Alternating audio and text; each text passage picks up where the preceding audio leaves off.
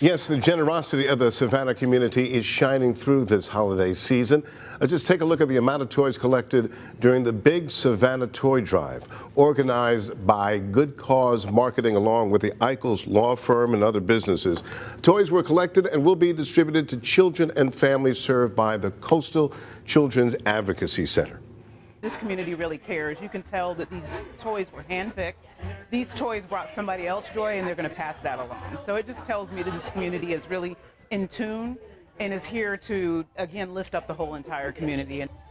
The toys were being sorted out early this afternoon and will be distributed to the families tomorrow. Good work always being done by the Eichholz Law Firm.